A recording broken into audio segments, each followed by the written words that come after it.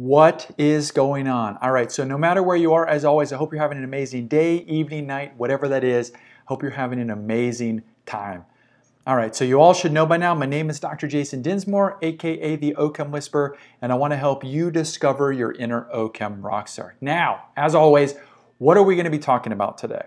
So what I'm going to try to do is consciously slow down and speak slower because I know I talk fast. I talk fast not because I get excited about organic chemistry, but I get excited thinking about all of you crushing your class and ultimately getting to do exactly what you want to do every single day, no matter what that is. It's uh, going to be different for a lot of you, but whatever that is, that's what I get excited about is you realizing that this class is not going to stand in the way of that. So I'm going to consciously work on slowing it down. It's very difficult. All right, so with that, what are we going to be talking about today? So here we're going to be talking about enantiomers and diastereomers. We've done essentially, I think already two, two um, stereochemistry lectures. One was kind of small, the second one was a little longer. This one we're going to be doing enantiomers and diastereomers, and then next time we're going to be doing Newman projections. But specifically in here, what we're going to be doing is once again, we need to make sure that we understand chiral carbons. We're going to focus on the dashes and wedges because that's going to help us figure out this difference between enantiomers and diastereomers. And then we want to learn how to draw all the possible structures, all the stereoisomers. All right, so let's start with this molecule here. Now the one thing that I want to point out is that if your professor ever draws a structure with a dash and a wedge, you still want to make sure that that is a chiral carbon because you can draw dashes and wedges on carbons that are not chiral. Meaning the fact that I'm just going to kind of throw something in here real quick. I want you to think about instead of that wedge Br, if that was a wedge CH3, you can think about this, that would not be a chiral center because we would have two methyls, right? We would have a methyl where the BR is and we'd have a methyl on the left-hand side. So I just want to point that out that just make sure you don't get tricked. Check to make sure every single dash and wedge you see is a chiral center. Now in this case, I want you to double check the fact that this indeed is a chiral center, but I'm going to do this with you, okay? So if we look at this, we can see that we have a bromine. We have a methyl, which is on the left, that's two. We have this carbon chain, which is three on the right. And then remember, we don't write it, but we've got a dash H, so that's going to be four. So this indeed is going to be a chiral center.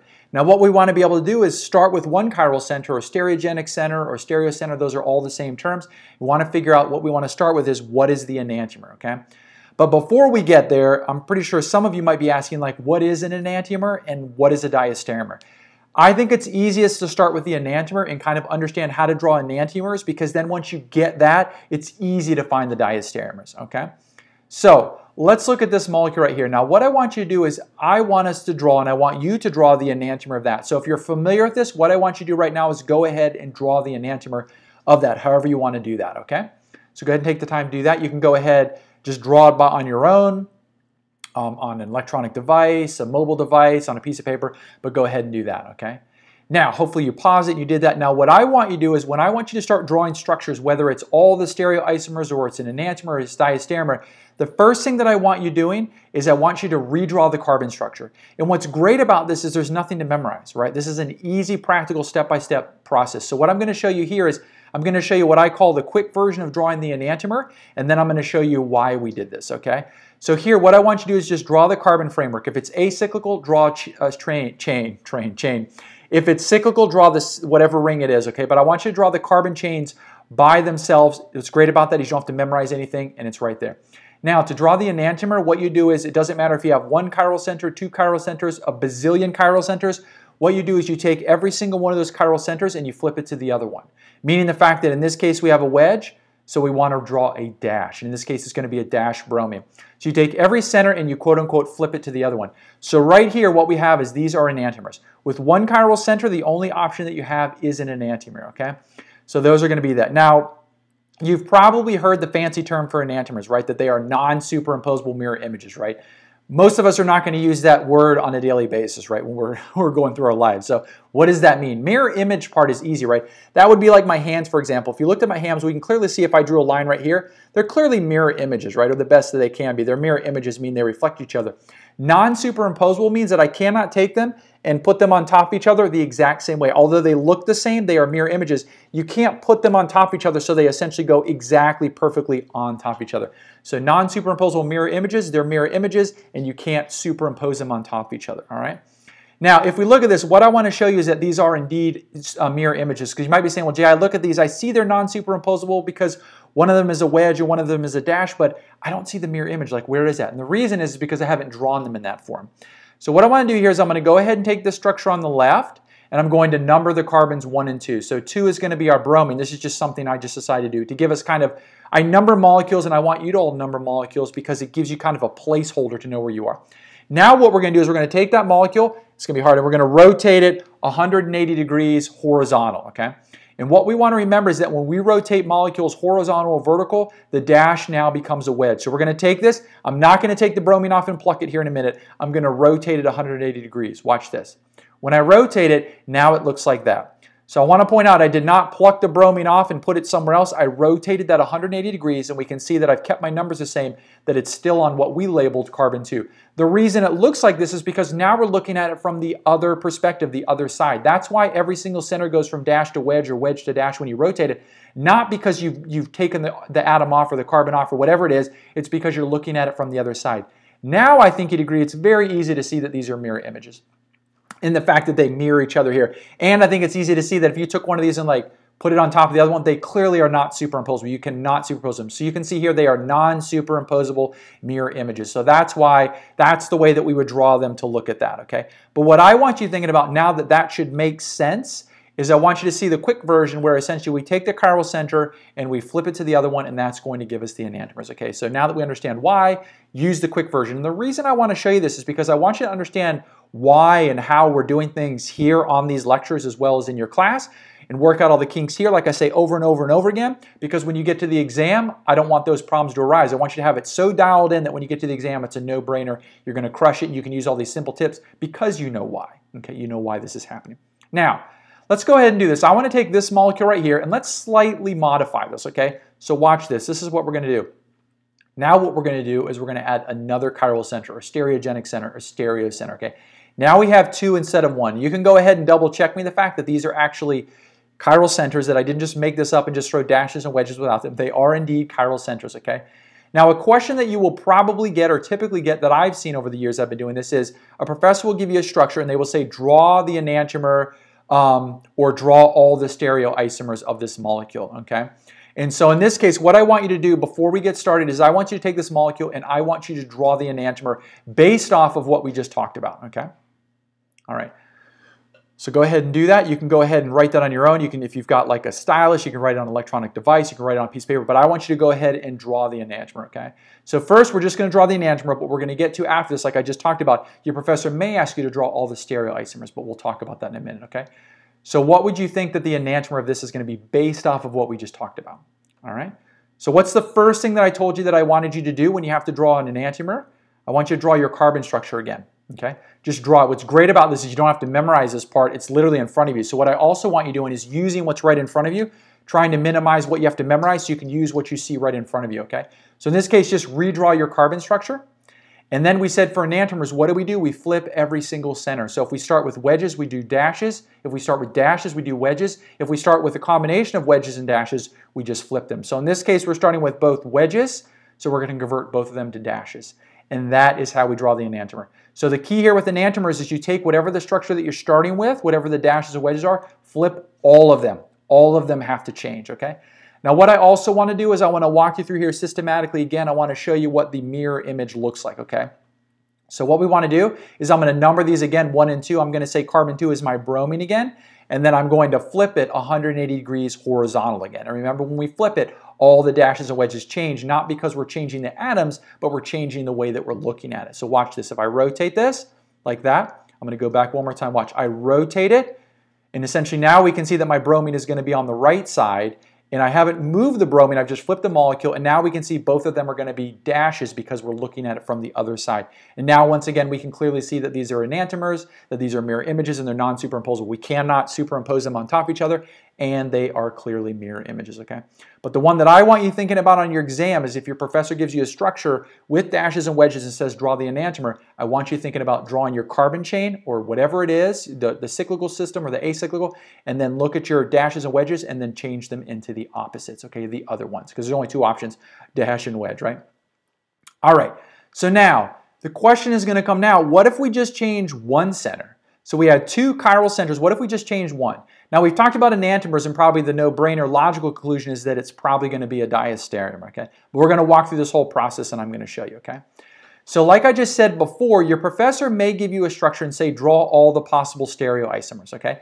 Now what they're not going to do more than likely is give you one like a dash and a wedge like this. What they're going to give you are just straight lines. They're not going to tell you essentially that what you start with the dash and the wedges. They want you to take this molecule, identify all the chiral carbons, all the chiral centers, and then draw all the possible dashes and wedges that you can get out, okay?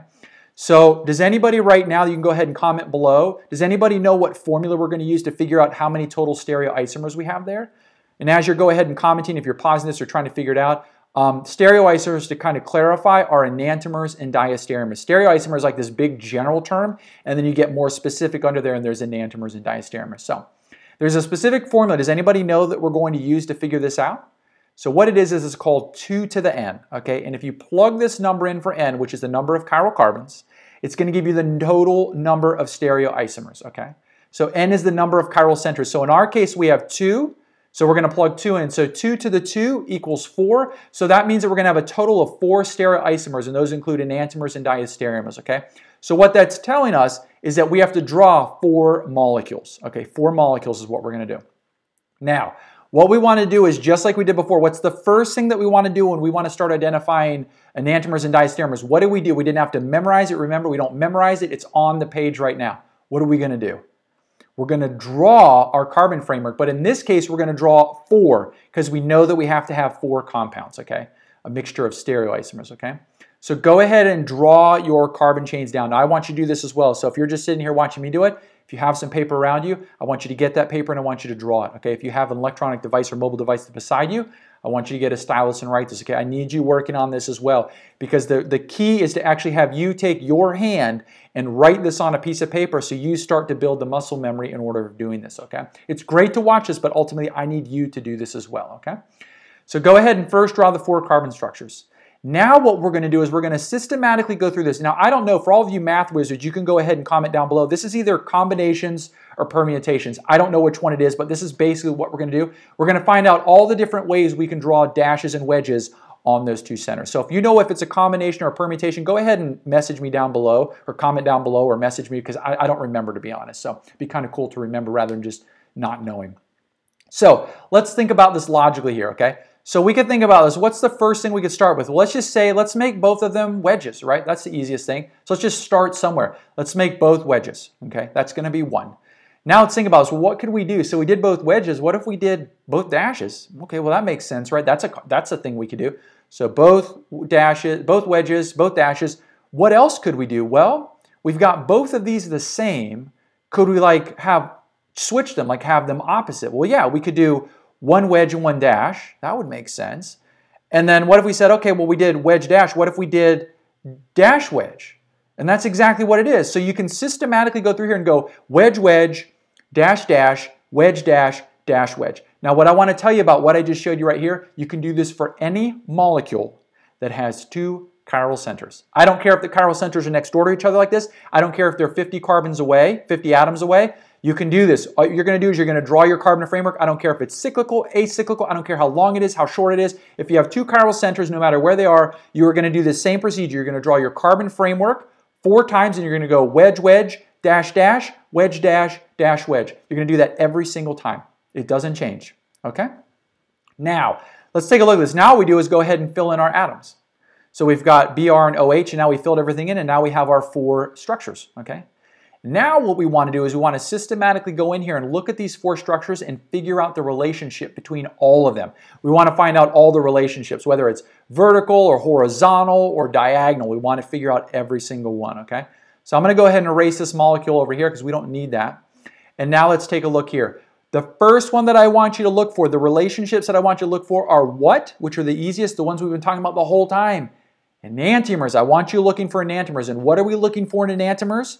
We're looking for everything to change. So what I'm going to do is I'm systematically just going to start looking horizontal, okay? So let's look at the first group. If you look at this, what happened? So let's, let's take the molecule on the left. Relative to the molecule on the left, what has happened to the molecule on the right? And this is the question I want you asking every single time. Did everything change? In these molecules, did everything change? Yes, the bromine changed and the OH changed from dash to wedge. So those have to be enantiomers. Okay? The question I want you asking is, did everything change? Let's look at the bottom. I'm asking you again, did everything change? Did every single dash go to wedge and every single wedge go to dash? Yes, it did. So those are also enantiomers. Okay? That's see, so now we know what we're looking for. We're gonna do the same thing. Watch this. I want you to start on the left-hand side. Did everything change? The left column, whatever that is, box. Did everything change? Now I put the answer up there, but I still want you to look. Did everything change? No. The bromine, check. The bromine stayed the same. The OH changed. Since everything didn't change, it's a diastereomer. It's really that simple, I know. Let's go to the right-hand side. Did everything change? I'm going to ask you this over and over again today. Well, if we look at that, the, the OH changed again, but the bromine didn't. So those are diastereomers, okay? Let's look at the diagonals. Same thing, did everything change? The OH stayed the same. The bromine changed. No, so everything didn't, everything didn't change. So those are diastereomers. If we look here, we can see that the bromine changed, but the OH didn't. So once again, those are diastereomers. So what you're looking for is, did everything change? Okay? So that's how we're going to go through this systematically. Now what I want to do is just take some time. If, if, for example, if that didn't make sense, go ahead and pause it, rewind it, look at it again. But basically the question, as you can see, I know you probably know this because I said it so many times, did everything change? So I'm going to show you a different way of doing this. Rather than having four compounds and trying to find the relationship between all of them, let's have a single compound. Your professor may ask this, here's a single compound and tell me the relationship to all these other ones. So let's go through and do this. Let's compare these two compounds. What do you think these are? Okay, I haven't said this yet, this word, but I'm pretty sure you can figure it out. Um, everything stayed the same, right? so they're the same molecule. So I didn't talk about that, but if you literally look at it and say, wait, I don't understand, what is this a diastereomer, enantiomer, what is this? It's the same molecule. It's the same molecule, okay? Nothing changed. It's exactly the same molecule, so we don't have to do anything with that one. Now, what about these? The question I'm going to ask you between these two, did everything change? Did everything go from a dash to a wedge and a wedge to a dash? Yes. So between those two molecules, those are enantiomers. The relationship are enantiomers, okay? Or you can say the molecule on the right is an enantiomer. Okay, what about these? Did everything change? Okay, if we look at them, did everything change? It looks like to me the OH changed, but the bromine did not. So if everything doesn't change, it's a diastereomer. Everything has to change to be an enantiomer. I know you're probably getting tired of me saying that, but I want that to be so ingrained in your head that you just automatically can look at it and know, okay? Let's do the last one. Did everything change? If we look at this, we can see the OH stayed the same, but the BR changed, so everything didn't change. So that also is going to be a diastereomer. Okay, That's literally how you can walk through. You can do this with two chiral centers, you can do this with three chiral centers, you can do this with four chiral centers. As you can see, when you use that formula 2 to the n, you get more and more structures, but you can still systematically go through here, whether it's a combination or permutation. I'm hoping that some of you are going to comment below. Let me know which one it is. But essentially, you can do the same kind of procedure whether you have two, three, four chiral centers, okay? But the thing that I want you paying attention to is I want you thinking about the enantiomers. When you look at two structures, did they change? Or if you have to draw structures, you change every single center. All right? Pretty cool, right? And pretty simple. Now, as always, you can see this was a quick lecture, but as always, I love having all of you come on here. Thank you so much for taking time out of your day to watch this so I can help you crush your organic chemistry class. And until next time, I hope you all have a good one.